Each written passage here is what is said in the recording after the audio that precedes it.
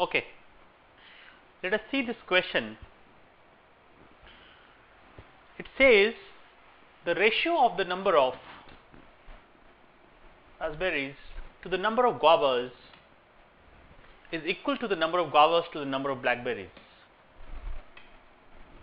That means if I say the number of guavas, raspberry and blackberries are denoted by G, R and B, I can surely say R by G is equal to G by B implies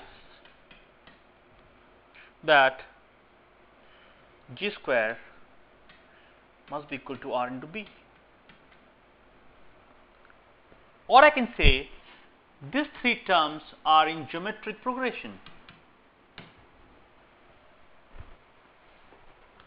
Fair enough. Now, possibly this question again can be done possibly with the help of choices. The question says the total number of fruits is 61 then find the number of guavas. If you look at the first choice, if G is 16, R plus B has to be equal to 45.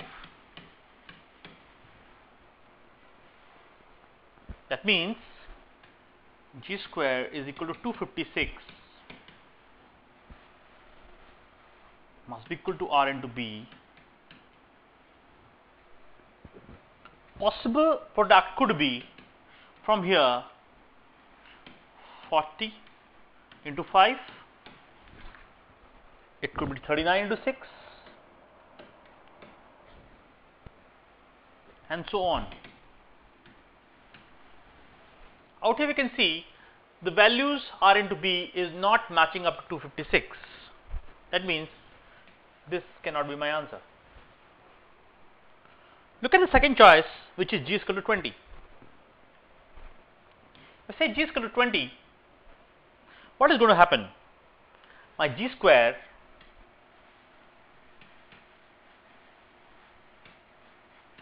will be equal to 400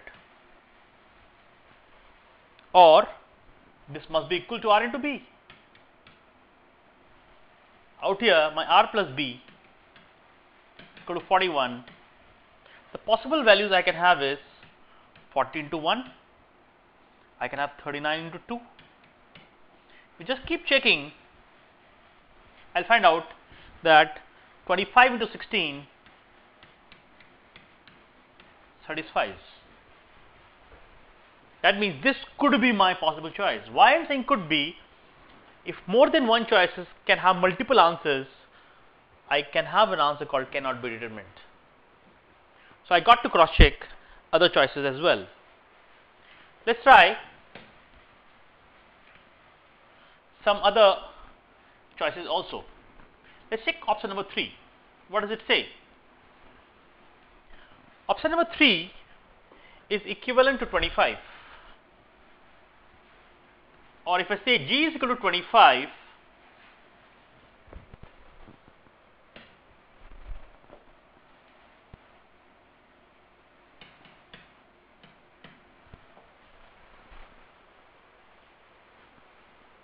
then my G square becomes 625.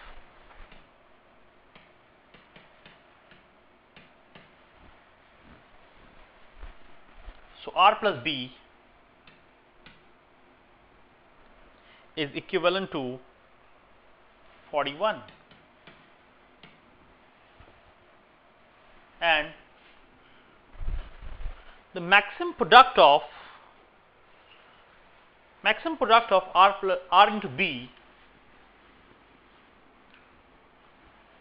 you are right will be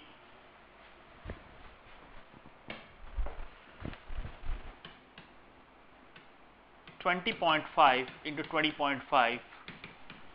Numbers are equal.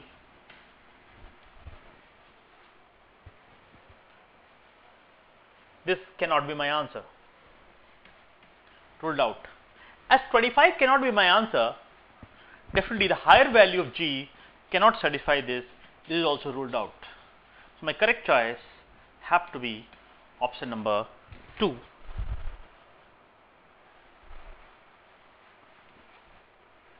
If I look at the next question, which says the number of guavas is 21, then which of the following can be the total number of all the fruits in the container? Very simple again as one of the values that is guavas is 21 we know one of the geometric progression can have common ratio equal to 1. That means the three terms, terms could be A, A and A. Means if G is 21, my three terms in the series could be 21, 21 and 21 and my answer can be straight away 63. I won't have to do anything else.